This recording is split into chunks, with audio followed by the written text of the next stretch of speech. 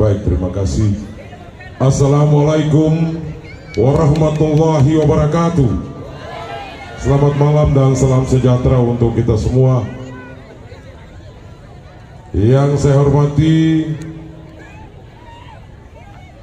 Saudara Wakil Ketua dan segenap anggota DPRD Kabupaten Serapagen Timur, terutama Presiden Barakat.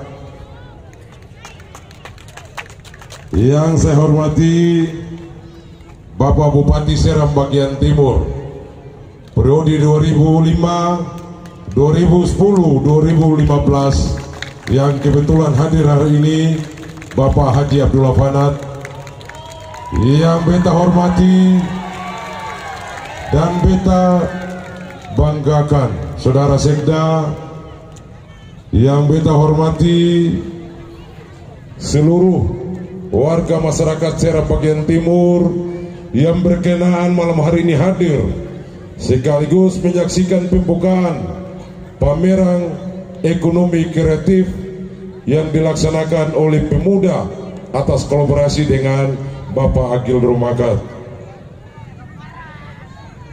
Yang beta hormati adik-adik panitia Pasiar Foundation kalau tidak salah ya beserta seluruh warga masyarakat yang terlibat secara langsung dalam suksesnya acara ini yang saya lupa beta hormati.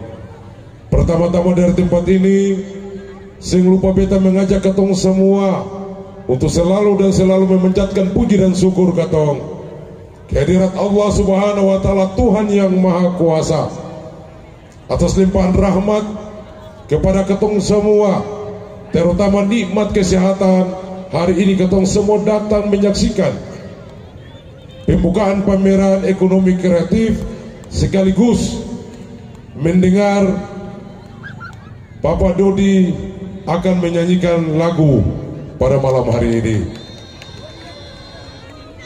Untuk itu atas nama pemerintah daerah, kita menyampaikan terima kasih dan apresiasi yang luar biasa atas kreativitas inovasi yang telah dilakukan dalam rangka perkembangan ekonomi kreatif yang tentunya menjadi harapan kita semua.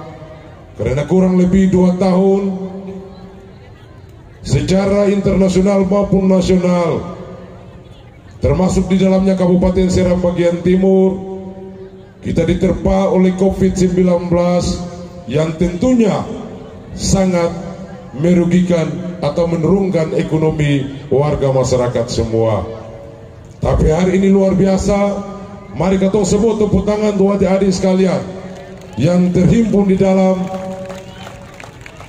Foundation Pasiar yang telah menggagas sebuah acara yang luar biasa.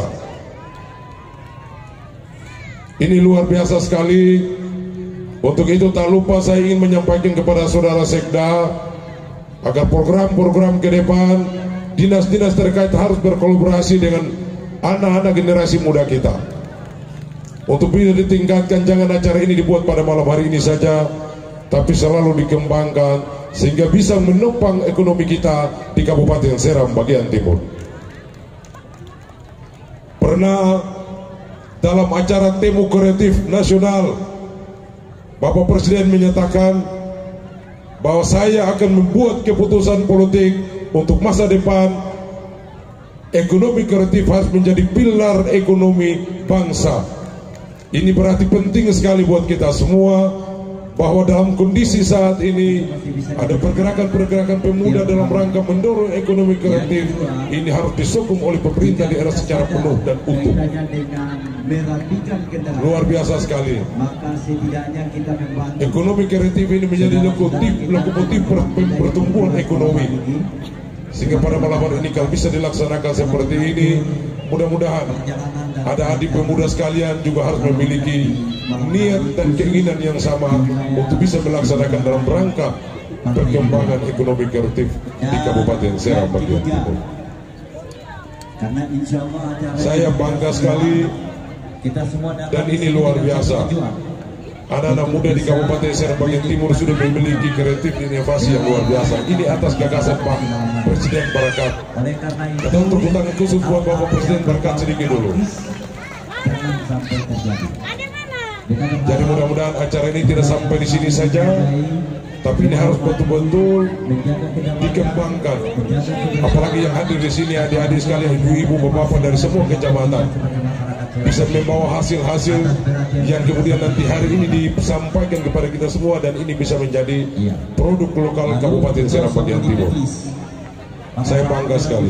Mungkin itu yang dapat saya sampaikan pada kesempatan hari ini. Dengan mengucapkan Bismillahirrahmanirrahim. Pada hari ini tepat Sabtu tanggal 11 Juni 2022 saya membuka dengan resmi pameran ekonomi kreatif yang diselenggarakan oleh Pasiar Komponensen atas kolaborasi dengan Bapak Agil Rumakat dengan resmi. Dengan demikian, bila taufiq wal hidayah, wassalamualaikum warahmatullahi wabarakatuh.